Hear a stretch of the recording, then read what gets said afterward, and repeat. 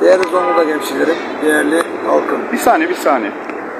Evet, şimdi e, son yaşanan süreci bize değerlendir, ne olduğunu anlat. Şimdi Ankara'dan geldiler evime kadar. Dediler ki işte 5 milyar ilk başta, ilk başta 5 milyar teklif etmişlerdi.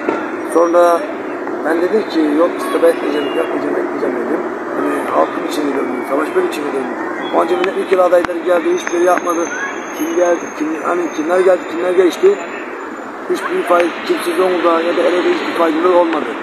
Şu son süreçte dün akşam beni aradıklarında tehdit ettiler. Zonguldak il başkanı olsun, Ereğli il başkanı olsun, Ankara genel merkezde mesela bazı videolarımız da var, ses kayıtlarımız da var. Hani çoğu, şöyle söyleyeyim size, tehdit ve mansur amaçlı tehdit- tehdit- tehditler altında kaldığım için istifa etmek zorunda kaldım. Evime kadar almaya geldiler transitle. Dört kişi geldiler. Toplam şöyle yani, kardeşim istifa edeceksin sana para vereceğiz dediler. Ben hiçbir kuruş da para almadım istifamı ettim. Sonra dediler ki ben şöyle düşünüyorum hani genel başkanımız şu an de- demişti Muharrem İnce gençlerin önünü açacağız dedik. Böyle gençlerin önünü açmak böyle gö- gençlerin önünü açılmaz ki. De hiç böyle bir şey yapılmaz ki. Hani nerede görüldü gençleri böyle istifa edildi?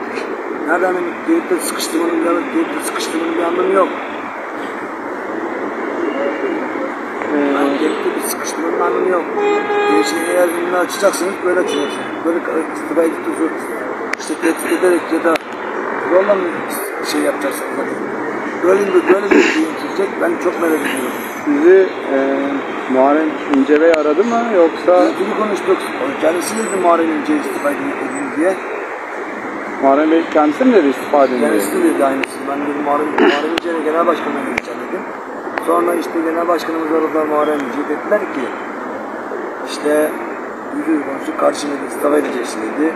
Ben de genel başkanımıza dedim böyle bir sizin böyle bir köy yönetiyorsunuz dedim. Direkt otomatikten WhatsApp, direkt otomatikten kapattık telefonumuzu. Hani ben inanamadım. Tek, hani tek tabancadan bir telefonum var, bir arabam var. Bölgeden adam gelip de Türk gencine böyle yapıyorsa hiç düşünemiyorum hani. Peki istifa etmenizi neden istediler? Bu son aylarda hani TikTok'larda bir flört yansıma oldu. Onlardan dolayı ve bir de yalan, yalan dolan haberler çıktı çoğunlukla. Yalan dolan haberlerde de şöyle yani. Ben işte gelmişim Muharrem İnce otobüse şey, dans etmiş. Ben işte gelip de video çekmişim. Çok mutluyum. Gelip de hani bakın bir şeylerden lafları kullanır gibi bir şeyler kullanmışım galiba. Benim hiçbir kötülere gelip de tehdit yapmıştım yok. Ben 2000'den beri Zonguldak İl Başkanı'ndan tehdit diyorum. Hani de böyle nasıl oldu anlayamadım. Canlı yayını kapatsak olmaz. O adam böyle ülkeyi yönetecekse çok fena. Doğru. Canlı yayını kapatırsanız haber yapmamızı anlamıyorsun. Herkes buradan alacak, kullanacak mı?